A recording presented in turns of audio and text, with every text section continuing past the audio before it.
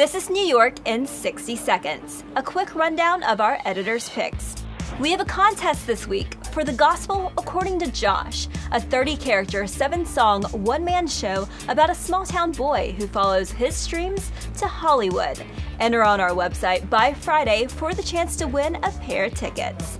In theater, five time Tony Award nominee Jan Maxwell leads the cast in Anthony Giardina's drama The City of Conversation. She plays a longtime liberal Washington, D.C. player now forced to deal with her Reaganite conservative son. In comedy, Vulture Festival is putting on a great show at the Bell House on Sunday, featuring top comics like Chelsea Peretti from Brooklyn Nine-Nine and Abbi and Ilana from Broad City. In film, don't miss the hilarious Neighbors, starring Zac Efron and Seth Rogen.